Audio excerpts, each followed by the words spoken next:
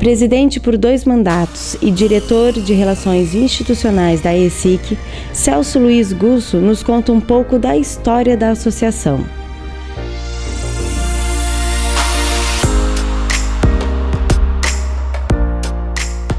Aí temos um exemplo bastante interessante do que é a burocracia dentro do nosso país.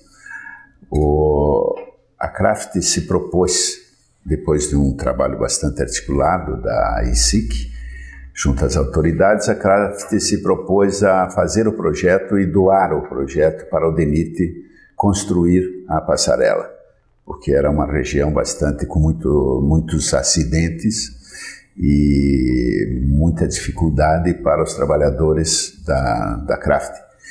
E, após doar a, a, o, o, projeto para a, o DENIT, o DENIT não podia aceitar. Ele teria que passar pela prefeitura para a prefeitura fazer uma burocracia bastante grande, enfim, para chegar até o DENIT e, e desenvolver o trabalho da construção da passarela. Foi, foi tudo muito fácil para se conseguir o projeto, para se conseguir uh, o apoio financeiro da própria Craft para a passarela, mas foi muito difícil a parte burocrática. Enfim, dentro do, do, da expectativa de se fazer um bom trabalho, um, uma obra de arte bastante interessante, é, conseguimos depois de dois anos aí que ficasse pronta a passarela. Mas, enfim, é trabalho que uma associação tem que se propor, quem está à frente da associação tem que se propor a correr atrás e procurar resolver de qualquer maneira.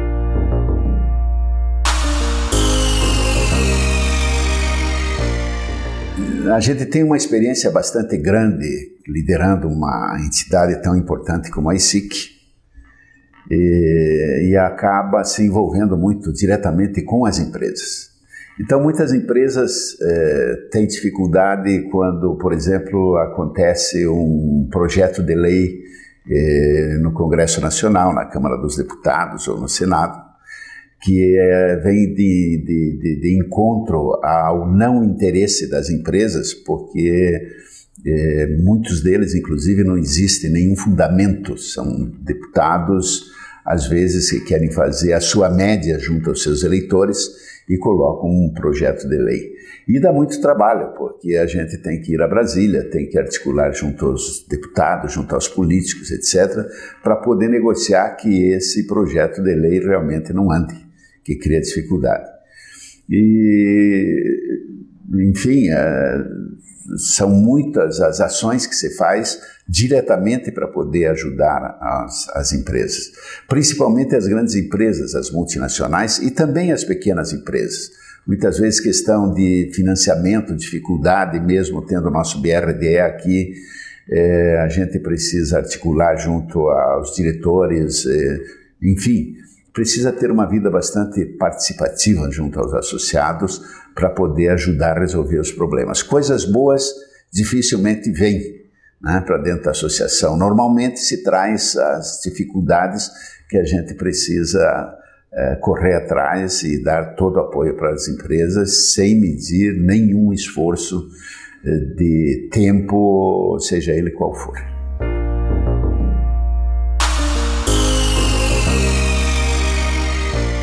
Nessa questão dos projetos de lei, é, por exemplo, nós temos um projeto de lei que ainda está tramitando, mas praticamente ele está aniquilado, que seria uma, uma obrigatoriedade de emprego para nutricionistas, né, com várias, uh, com várias uh, ramificações de salário, de insalubridade, uma série de coisas.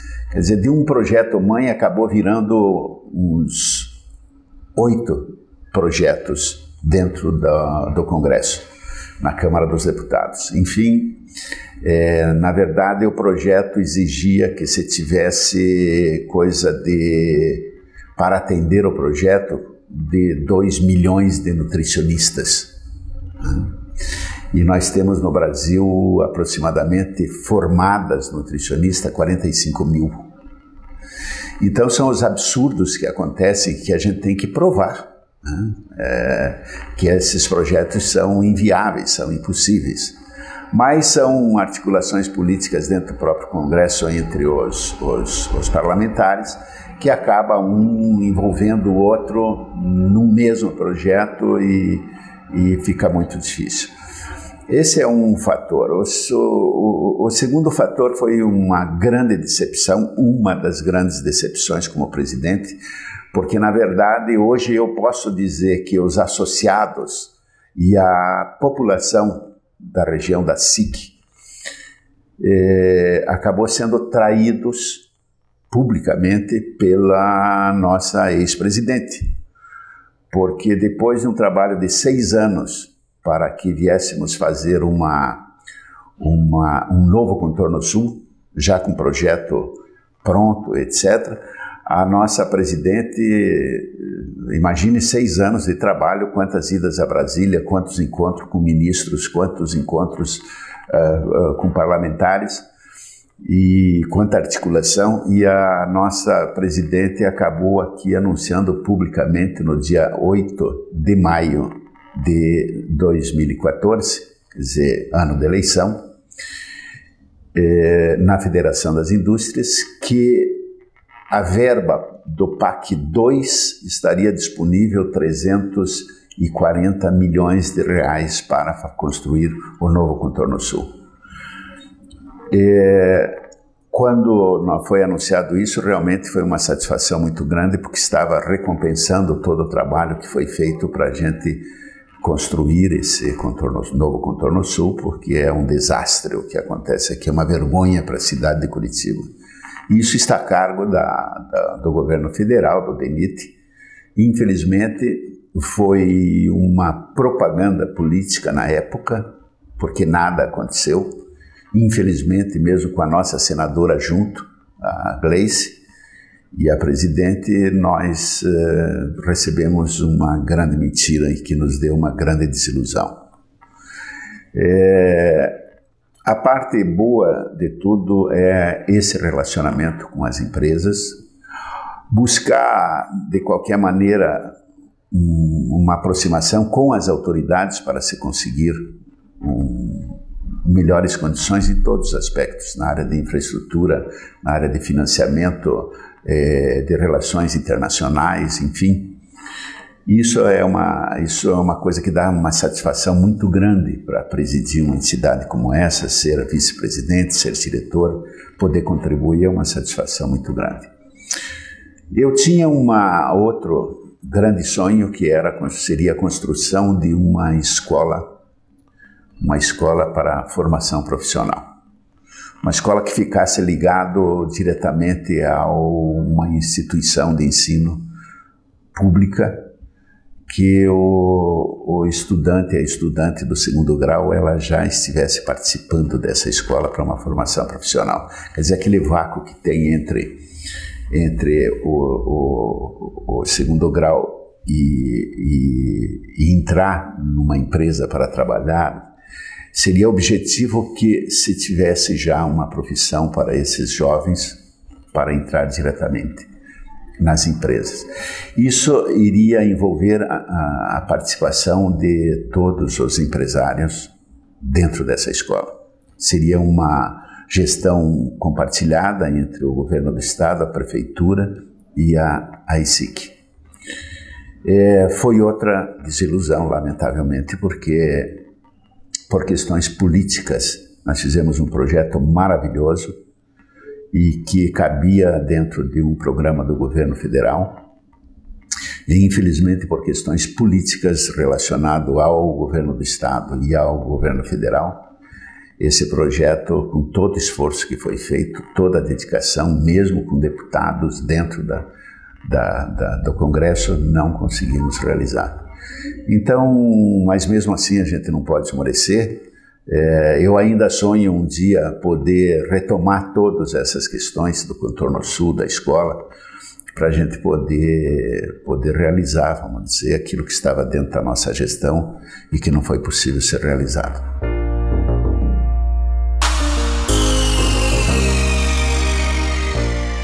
Eu acho que para falar delegado, aquilo que eu já falei anteriormente, né? Eu pretendo, pretendo ainda ajudar bastante.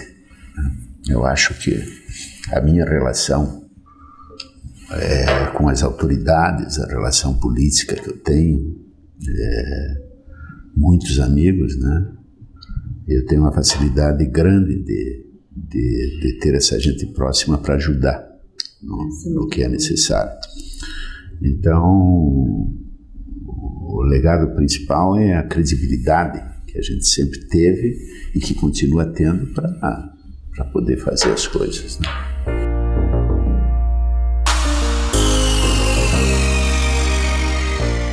A ICIC é uma entidade muito forte. Ela, ela, com a credibilidade que tem, ela pode ter as portas abertas em todos os lugares. Então, é, para falar em futuro, depende da imaginação, daquilo que você queira fazer para ajudar os associados, para resolver os problemas que tem da, da, da, da, da SIC, da SIC SA. Né? E, e como nós participamos, inclusive, junto à prefeitura, a gente tem buscado ajudar a resolver muitas questões, como, por exemplo, é, é, o, o Tecpar. Né? Tecpar é, produz é, vacinas, etc. São produtos muito importantes para toda a comunidade brasileira. Então tem as questões, vamos dizer, que a ICIC pode ajudar muito, que eles têm necessidade de um apoio político, um apoio de execução de alguns projetos que, tem, que eles estão desenvolvendo. Eu, eu, eu acredito que resolvido essas questões, principalmente imobiliária que tem, que ficou, as pendências são bastante complicadas, nós vamos ter ainda muitas indústrias sendo implantadas aqui dentro da cidade industrial. E que, e que as autoridades olhem um pouco mais por essa região, porque já são mais de 200 mil habitantes que se instalaram, alguns de uma forma legal, outros de qualquer maneira, e essas coisas todas precisam ser resolvidas.